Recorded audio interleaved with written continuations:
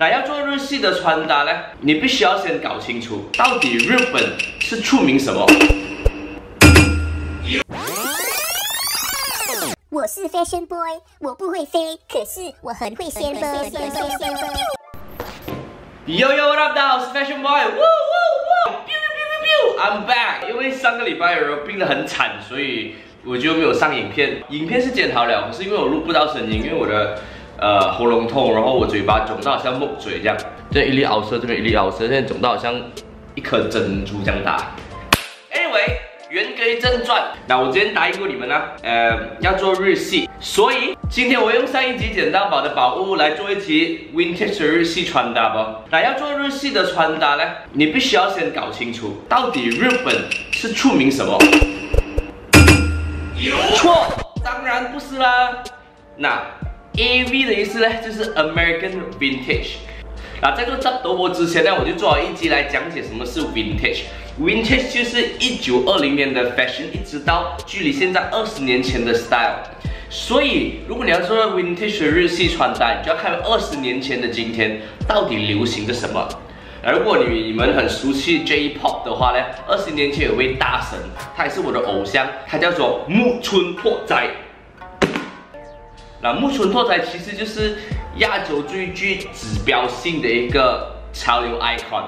他就好像现在的 GD，但是在那个年代，我觉得他的影响力更为疯狂了。但是我想要你们知道的是，木村拓哉其实他已经影响整个亚洲的 fashion。那如果我们看木村拓哉的穿搭，全部基本上都是 American fashion，只不过放在一个日本人身上，放在木村身上呢，他就变了一个日本人的 style。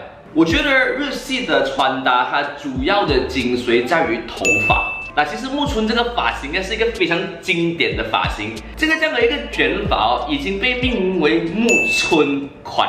而且这个传说中的木村头呢，是影响了整个娱乐圈，还有整个亚洲男生对于头发的一个，嗯，一个一个一个一个一个一个。其实我们看回亚洲的男明星啊，全部人都是受了这个木村效应呢，去剪了这颗木村头。But anyway，呃，这个有机会我下次再做一集专专讲木村的，你们讨论这个东西，因为我非常喜欢木村拓哉，他是我的偶像。所以 anyway，今天就不会是只有我一个人做穿搭，因为我收到你们很多的私信，还有你们的评论，你们全部都说想要看女生的穿搭。所以今天我们用两个东西来 style，一个就是工装连体裤，一个就是吊带牛仔裤吧。所谓的工装连体裤，就是好像我身上穿的这件 jumpsuit，那这个是非常好看的一个东西。但是穿这个东西它有一些技巧，你们需要懂，不然的话穿起来真的好像是一个修车工人嘛。所以穿这种衣服哦，你要好像那种这样子很不拘小节，要穿不穿这样的 feel 啊，就是这样子了。然后你可以内搭白 T 恤，但是今天做的所有穿搭呢，都可以内搭白 T 恤。但是如果只是叫你们内搭白 T 恤的话，你不用看我 video 了，是不是？是不是？所以今天我们有很久不见的 Soju Twins 跟我一起做这个穿搭吧，呃，就希望你们会喜欢啦。那么看完了过后，记得在下面留言你们最喜欢哪一套，好不好？那么现在就进入我们的 Fashion Boy 的这样穿就对了不？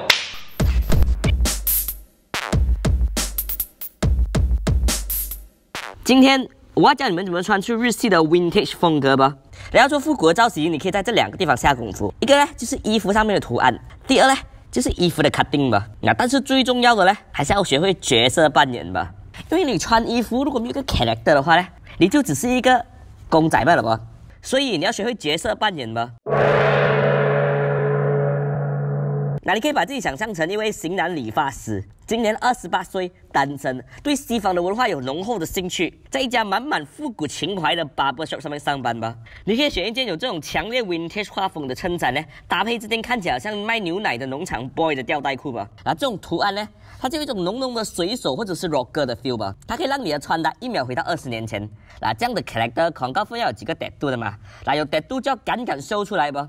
那这是你要记得。修得多还有修咪咪是同样一个道理来的吧？那修多会很腻，若隐若现才叫恰到好处吧。所以你可以很不拘小节的把你的袖子 roll up，让你整个人看起来好像很有故事这样吧。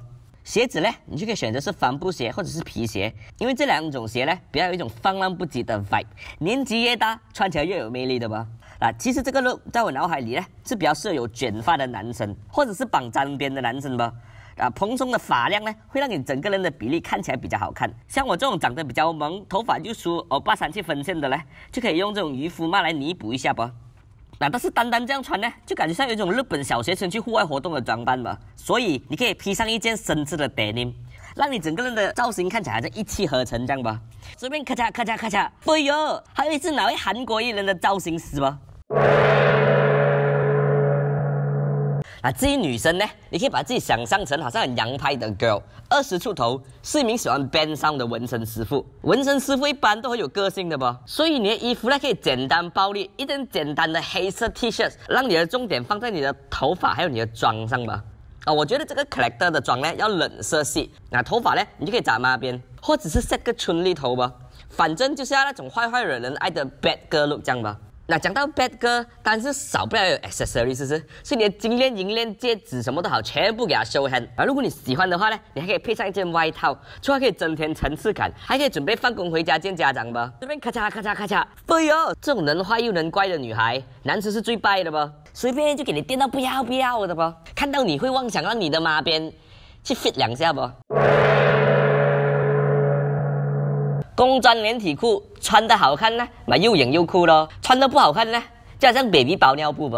那一般人呢，都会内搭白色 T 恤的。当然，我们今天做的每个穿搭都可以内搭白色 T 恤。但是如果只是这样子的话呢，你都不用看我的 video 了，是不是？所以你可以把你的角色设定为一个服饰店的老板，年过三十五，事业有成，热爱重型机车还有古董车吧。没有什么不良的嗜好，好男人来的吧？所以一言不合就给他穿一件线条衬衫配个领带。那其实穿这种工装连体裤呢，和穿 denim jacket 是同一个道理来的吧？进得了商场，出得了颁奖秀吧？因为它本身就是一个很好的 statement piece。你只要在小细节上下一点功夫呢，它整个人就帅到不要不要了的吧？所以它的焦点呢，就在它的内搭。那由于我样子长得比较萌、比较可爱、闪闪惹人爱，所以我选择搭配一副复古的眼镜框，增添一种神秘感。它可以让你整个人有一种大树的款呐。那最后我会选择一件非常稀有的做旧 Converse Chuck Taylor，让你整个来熟的来不油腻吧。随便咔嚓咔嚓咔嚓，哎呦，简直就像 GQ Magazine 的杂志封面吗？一般的女生都觉得这种工装连体裤非常不适合她们穿，很奇怪。我不怪你们，因为它确实是很难的搭配。但是只要你会穿呢，女生穿工装连体裤，即使你包到秘密，你还是可以变成一个性感尤物吧？那因为呢，它是一个典型的百分百制服诱惑穿搭来的吧？男水电工去帮女主修水喉的戏码，你们就看得多了。啊，但是你们女生恐怕分不懂，男生也很想车坏所有个美女帮他们修，顺便可以把他们修理修理一下吧？没错。每个男生的脑海里都有一种制服诱惑的 fantasy 吧？那穿这衣服最重要的就是要穿不穿，你不需要太多东西的，一件黑色的紧身衣去凸显你的好身材，如果有的话啦，然后大胆把你的这个工装连体裤脱下来，简直是前凸后翘，男生看了恐怕会东北调不？简单暴力，给男人一种视觉上的冲击吧？随便咔嚓咔嚓咔嚓，哎呦，这个还不是性感在这 magazine 的封面呢？随便就可以 break the internet 不？那最后来这件我叫 Hugo 裤的裤子吧，这是在飞仙妈的眼里，这是一件乞丐的裤吧？那像这种又松又垮的拼色裤，一般来说呢，就只有搞艺术的人才会穿吧？那总觉得好像要表达搞艺术就是一种革命，人穷志不穷，再穷也要坚持梦想吧？所以这个角色呢，我们就设定为艺术家，三十出头，是个喜欢小动物、爱护地球的人，坚持不用吸管和 plastic 袋。喜欢松岛菜菜子吧？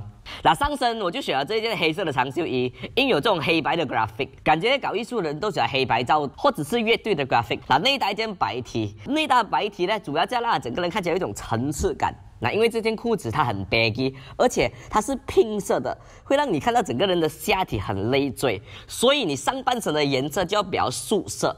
那穿这种裤子呢，你鞋子就最好和上身的颜色一样。然后再把你的裤子折成九分裤，那有助于拉长视觉效果吧。最后记得配上一张复古的墨镜，这样才有整个艺术家的 feel。啊，因为艺术家整天废寝忘食啊，所以他们都有黑眼圈，所以要折一下。这边咔嚓咔嚓咔嚓，哎呦，人家以为是什么日本大师来马来西亚开秀吧，分分钟把当成藤原浩吧。结论是在这个百花齐放、眼花缭乱的年代，已经没有什么绝对的定义，就要比 vintage。它已经不是字面上的那个意思了，它已经发展到另一个层面了的吧？那个大的牌子已经做了 N 字的复古系列吧？所以如果你想要 vintage 的话呢，你不必要全身上下到内裤都是二手市集找回来的不？又或者说用你一个月的人工去供奉给这些潮牌，毕竟潮流是留给有钱人玩的吧？那日系的穿搭不外乎就是工装、军装或者是格子，所以只要你抓到精髓，是新的或是旧的，nobody cares。反正对我来说，穿搭是一种视觉上的艺术，所以只要达到视觉上的效果呢，其实就很 OK 了的吧。啊，如果你喜欢这个影片的话，就分享两次，看个八次，看爱上为止吧。然后记得来我的 page，follow 我 Instagram，订阅我的 YouTube channel，记得打开小铃铛吧。我们下一集见，拜拜。